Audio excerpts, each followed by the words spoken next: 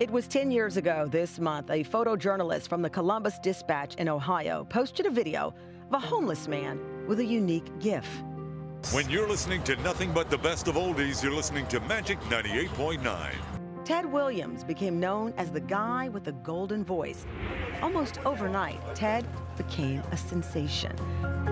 With appearances on Good Morning America and Entertainment Tonight, he got a taste of Hollywood stardom his story was almost as dramatic as any movie.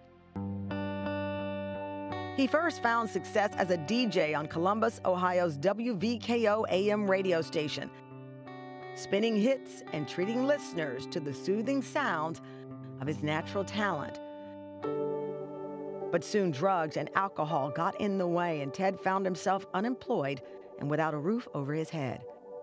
Without a home, money, or family to turn to, Ted knew he had to use the one thing he had left to stay alive his voice. After being rediscovered by the world, Ted got job offers, a new home, and financial security.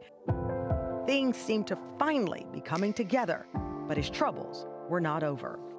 Relapsing and money troubles landed Ted back on the street. He lost it all again, and people lost track of him, leaving fans wondering what happened to the man with a golden voice.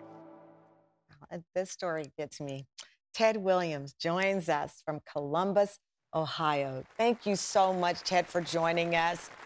Oh, thank you, Tamara. Oh my thank gosh, I, I feel like it was yesterday. I remember you walking into the Today Show, the security escorting you in, and just everyone smiling um, as you walk by because they were rooting for you. And then yes, soon after, um, things just spiraled out of control again and again. What's your life like now? Well, right now, a lot of things uh, because of the COVID situation, Tamron uh, has kind of postponed, not canceled, but postponed a lot of things. Uh, I haven't made very much of anything happen uh, as of last year uh, since the COVID but uh, I'm still hoping that things have another turnaround. You know, I'm still sober. Mm. I'm actually in between living and, you know, the fair housing laws haven't been fair to uh, people who have gotten out of prison and so forth. It's been a long time. I haven't been to jail or had any reasons to go to jail since then, but uh, I haven't had a place to call my own since 2000. 14. So know, 2014. With... So that was around the time you got a couple of gigs after, you know, this world fame came and then you got help with getting a house. How did you yeah. you you how soon did you have a relapse um, after all that stuff came your way, all of those blessings came your way? Well, I didn't relapse until 2011 prior to going back on the Dr. Phil show. Uh, you know, when I came back, there was so, Tamron, I wasn't even 30 days clean, and you know that. Uh, um, uh, in meeting you and the rest of the cast. But uh, uh, I wasn't even 30 days clean, and I was being offered all kind of uh, big jobs, uh, lots of money, book advances, and all.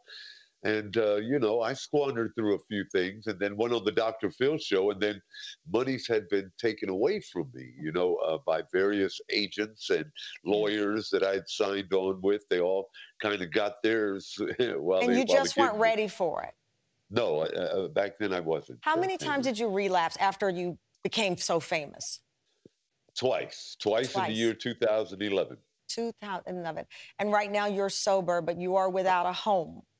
That well, yeah, yeah, without a home, living with my dear friend Mark Henderson and uh, my girlfriend of over 30 years uh, is right now in a nursing home, and she's recovering not only from the COVID. She she contracted the COVID, as I was telling Jeff, your producer. Um, she's recovering from that, and uh, you know she's hoping to get things yeah. together. But I'm still, you know, hanging. It's cheaper to keep her. how are, how do you describe your life now?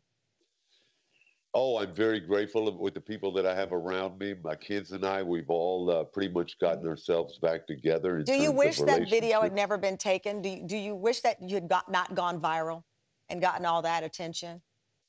Uh, at times I do. I, at times I do. You know, there are people that I see on the streets of Columbus, Ohio, uh, uh, that uh, from time to time, hey, are you that dude? And then let's take a selfie, yeah. you know, and I'm in the middle of eating something.